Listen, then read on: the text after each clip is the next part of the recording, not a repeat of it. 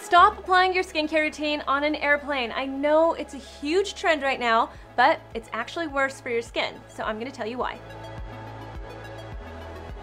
I've seen way too many people apply their skincare routine or even face masks on an airplane. And the truth is, once you're on the airplane, it's already too late. Think about it. The air on an airplane is extremely dry, recycled air. Dry air wants moisture and it takes it wherever it can get it. And your skin is the perfect target. So the minute you step onto an airplane, your skin starts to dry out. Now, if you're on a short flight, like an hour, maybe two hours, then don't worry about it. But if you're on a really long flight, then you really need to do your skincare routine ahead of time. And you have to load up on moisture. First, layer an essence onto your clean skin. An essence is like a lightweight serum moisturizer. In Korea, where they're from, they're used to add a little bit of hydration to prep your skin right before a serum. This one from Natura Bissé is called a toner, but it's really more of an essence because it has a hydrating gel-like texture.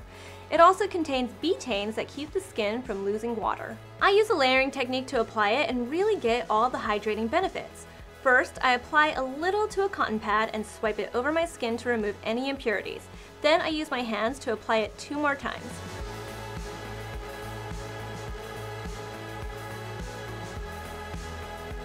Next, I apply a water-based serum with hyaluronic acid. This one from SkinCeuticals combines hyaluronic acid with vitamin B5 to nourish and moisturize the skin.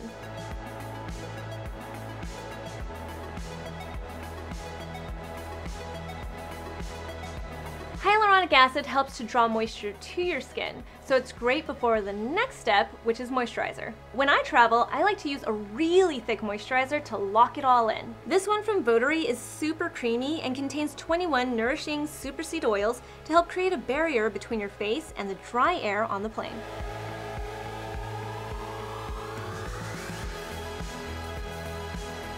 I especially like it because it's fragrance free and won't irritate your skin. Then I apply a super thick lip balm to protect my lips because you never want them naked. Skipping this step might be the reason why you always feel like your lips are chapped on vacation. I like this one from Sara Happ. It contains chamomile to soothe and jojoba and sweet almond oil to nourish the lips. Next up, face oil. Oil acts as a barrier to prevent moisture deep in your skin from evaporating. I like a face oil like this one from Biossance because it contains squalane oil, which is a great ingredient to look for because it hydrates and also helps retain moisture in your skin. Also, don't overdo it. You only really need a couple of drops.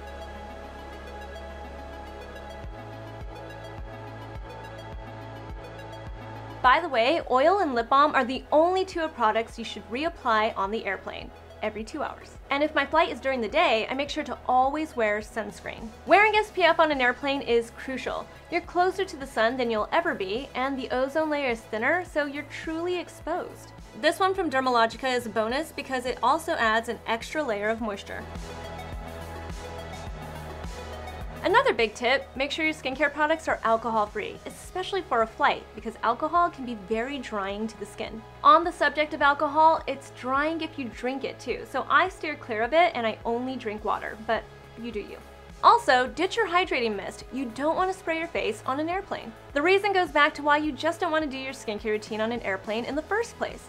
Water attracts water. So if you mist your skin, it wets it and then attracts the moisture in your skin and together it all evaporates. Now, if you really care about your skin, it's also important to pamper your skin after the flight. As soon as I get to the hotel, I make sure to cleanse my skin with an alpha hydroxy acid exfoliator. That way, I get rid of any dead skin cells and impurities I picked up on the trip.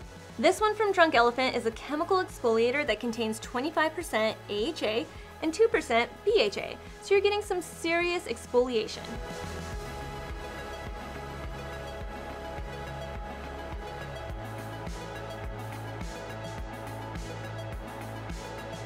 Then I like to follow it up with a hydrogel mask like this one from Kiehl's. It's very hydrating and contains cold-pressed Amazonian oils to refine and smooth your skin.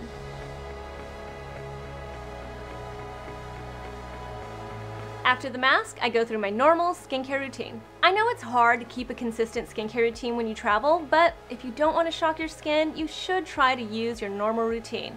Plus, a trip is not the time to test a new product. I'm the kind of person that will check a bag to have the right products with me, but if you want to cut down on size, then you just need travel containers. And there you have it, all of my travel skincare tips. Tell me in the comments below if you've been applying your skincare routine on an airplane and if you plan to stop.